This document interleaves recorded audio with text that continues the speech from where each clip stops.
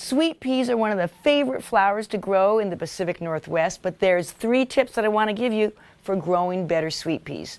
Tip number one, plant your sweet peas early. I pre-sprout my sweet pea seeds indoors in February, then I plant them out in March, but I put them in a pot. That's tip number two. Use a container kind of a large container that's got compost added to the potting soil. And I use this container that is a foam container, a very lightweight container, because it insulates the soil and keeps them cool. Tip number three harvest your sweet peas often. The more you cut, the more you are going to get. So I've got a basket that has a stake on it.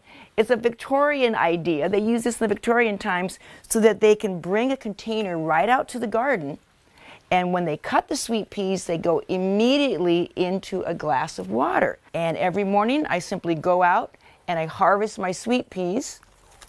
And immediately after you cut a bloom, if they go right into the water without waiting at all, then that's going to keep these cut sweet peas in flower for five to six days rather than three or four days.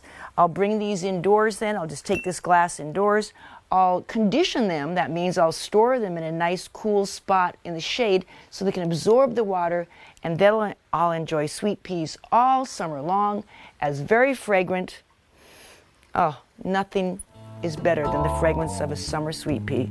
Very fragrant and they'll keep blooming all summer long if you remember, keep them cool, keep them watered, and keep them cut.